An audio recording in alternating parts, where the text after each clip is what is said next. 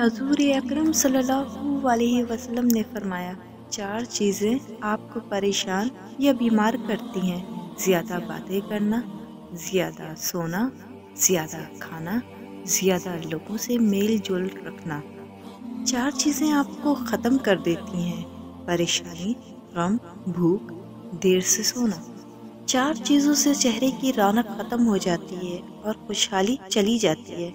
झूठ बोलना इज़्ज़त ना करना या किसी गलत चीज़ पर भी इसरार करना।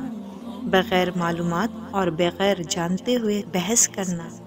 किसी गलत चीज़ को बेबाकी से बग़ैर किसी खौफ के करना। चार चीज़ों से चेहरे की रौनक बढ़ जाती है। परहेजगारी वफादारी, रहमदिली, दूसरे के बगैर कहे उनकी मदद करना। चार चीज़ों से रिक्स की फरावानी रुक जाती है।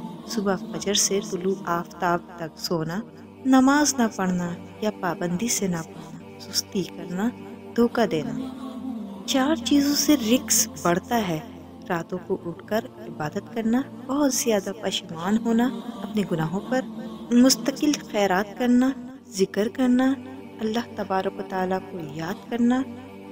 आप सल्लल्लाहु अलैहि वसल्लम ने मज़ीद फरमाया दूसरों तक पहुंचाओ, चाहे तुम एक आयत ही जानते हो।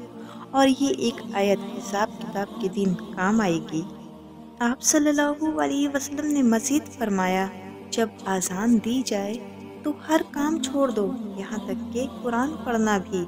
जो शख्स अजान के दरमियान बात करता है तो डर है कि मौत के वक्त उसे कलमा नसीब ना हो।